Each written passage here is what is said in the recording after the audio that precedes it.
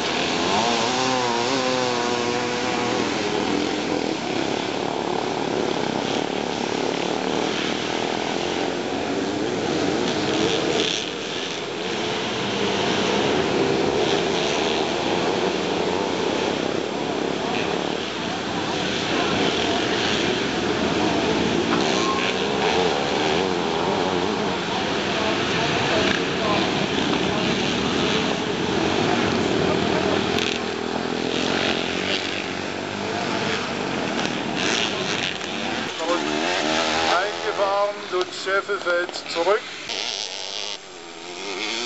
Harald und jetzt in die letzte Runde dieses Rennens eingefahren.